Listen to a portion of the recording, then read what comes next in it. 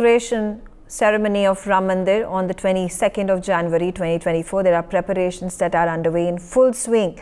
There is excitement and enthusiasm that is bubbling on the ground. Invitations for Pran Pratishtha have Pran Pratishtha have also been sent to many leaders and the first invitation has been sent to the Prime Minister of our country. Prime Minister Narendra Modi will be inaugurating the airport as well as the railway station and he will conduct a roadshow and a public gathering in Ayodhya. This is in alignment with the government's vision of making Ayodhya a cultural hub, a center for pilgr- pilgrims as well as a smart city. 22 जनवरी 2024 को प्राण प्रतिष्ठान से पहले 30 दिसंबर को प्रधानमंत्री नरेंद्र मोदी अयोध्या धाम आ रहे हैं। Airport और रेलवे स्टेशन का लोकार्पण करेंगे शुभारंभ करेंगे और हम इस वक्त मौजूद हैं हनुमानगढ़ी पर जहाँ कुछ समय बाद मुख्यमंत्री योगी आदित्यनाथ भी पहुँच रहे हैं। लगातार लोग हमारे साथ मौजूद हैं दर्शन के लिए आ रहे हैं दूर दराज से लोग आ रहे हैं क्योंकि अ, सभी को एक जो भाव है वो यही चाहते हैं कि एक लंबे इंतज़ार के बाद जब श्री राम जब रामलला विराजमान होंगे तो क्या कुछ एक फीलिंग्स आती हैं फिलर्स आते हैं तमाम बातचीत करने के लिए लोग हैं उनसे जानेंगे कहाँ से आए हैं। आप सब कहाँ से आए हैं? भोपाल अयोध्या नगर आप लोग कहाँ से आए हैं? भोपाल अयोध्या पहली बार आ रहे हैं अयोध्या? जी पहली बार।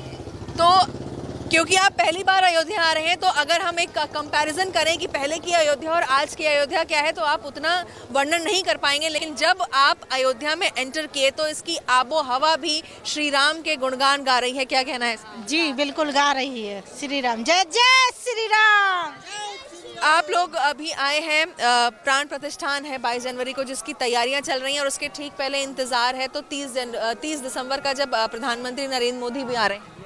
हाँ। जी हाँ नरेंद्र मोदी जी आ रहे हैं तीस तारीख को। एयरपोर्ट के उद्घाटन है जानकारी हमारे लिए। तो उससे क्या है यहाँ पर आवागमन बढ़ेगा और जो है यहाँ का रोज़गार बढ़ेगा। दूसरा क्या है सबसे बड़ी बात राम जन्म मूवी का महत्व सिर्फ़ अयोध्या वासियों के लिए नहीं है ऑल इंडियंस के लिए है। तो उसके लिए हम सभी यही चाहते हैं जल्दी जल्दी राम मंदिर का निर्माण हो उद्घाटन हो जाए और आगे सभी लोग दर्शन कर पाएँ। आपके साथ भी आना चाहेंगे। आप कहाँ से आई हैं? भोपाल से। ये पूरा ये ये पूरा एक फैमिली है आप लोगों की?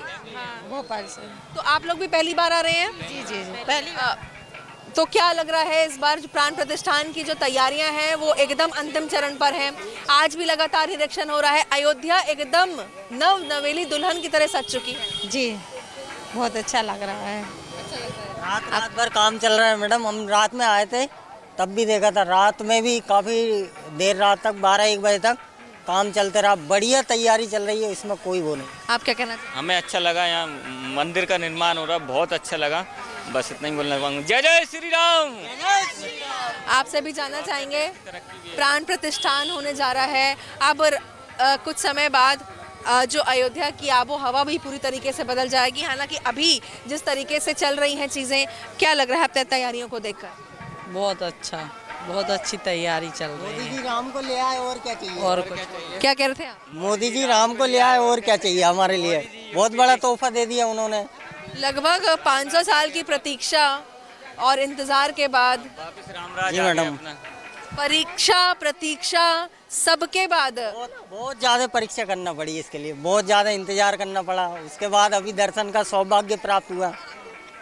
कई लोग चाहते थे कि वो रामलला जब विराजे यहाँ पर तो वो देखें और आप सभी लोग इनफैक्ट हम सभी लोग अपने आप को सौभाग्यशाली महसूस कर रहे हैं कि हम फ़िलहाल वो अद्भुत पल के साक्षी बनने वाले हैं। बिल्कुल अद्भुत साक्षी बनने वाले हैं, लेकिन क्राउड इतना रहेगा कि सभी व्यक्तियों का संभव नहीं है कि मंदिर के परिसर में उपस्थित हो जाएँ, लेकिन हम कहीं भी रहें, दिल में हमारी वो आस्था रहेगी कि रामलला विराजमान हो रहे हैं। अच्छा रहेगा। हनुमान घड़ी पर कुछ देर बाद मुख्यमंत्री योगी आदित्यनाथ भी आने जा रहे हैं। जी मैम बहुत अच्छा है आने जाइए। और उन लोगों ने तो बहुत ही कुछ किया है अपने भारत में मतलब जब से मोदी सरकार आई है बहुत कुछ चेंज हो गया है। मतलब पब्लिक में बहुत उत्साह भी है बहुत लगन है और बहुत कुछ चीज़ें पहले का कुछ भारत अलग था आज का भारत कुछ अलग है और सारी चीज़ें चेंज कर दी हैं। तो मतलब ये होना चाहिए। क्या कहना चाहेंगे? मैं तो ये कह रही मैं तो ज़िंदगी से चाह रही हूँ कि मोदी यार मोदी आना चाहिए। जी मैं तो बहुत खुश हूँ। आपको बताते चले कि हिंदुस्तान का बच्चा बच्चा भी जय श्री राम के नारे लगा रहा है और हमारे साथ बच्चे भी मौजूद हैं उनसे भी बात करेंगे। कैसा लग रहा है अयोध्या? मेरे को बहुत अच्छा लग रहा है। वो मोदी जी आ रहे हैं ना तो ऐसा लग रहा है कि सच में राम आ रहे हैं। क्या बात है। तो कब तक है अयोध्या में? मैं आज शाम को चली जाऊँगी। क्या क्या घूम लिया? बनारस। अयोध्या में क्या क्या देख लिया? अभी स्टार्टिंग की है। स्टार्टिंग की है। तो क्या क्या देखना बाकी है अभी अगर अभी स्टार्टिंग की है तो? राम मंदिर हनुमान मंदिर और सरजुन स्नान। स्नान किया है उसमें? किया। तो बिल्कुल जिस तरीके से उत्साह है यहाँ पर लोगों का, दूर दराज से यहाँ पर लोग आ रहे हैं राम मंदिर के दर्शन करने के लिए हनुमान घड़ी के दर्शन के लिए। और जो उत्साह है सभी पर वो बयां कर रहा है कि साक्षी बनने के लिए जब प्राण प्रतिष्ठान होना है 22 जनवरी को तो जितने भी राम भक्त हैं, जितने भी सनातनी हैं, वो बेहद ज़्यादा खुश हैं उस पल का इंतज़ार करते करते एक लंबे बरस का इंतज़ार करते करते फ़िलहाल जो शुभ घड़ी है अब वो नज़दीक आने वाली है अयोध्या से वीडियो जर्नलिस्ट कफील के साथ मैंने किता सरीन इंडिया न्यूज़ के लिए For more such videos, subscribe to the NewsX YouTube channel, hit the bell icon.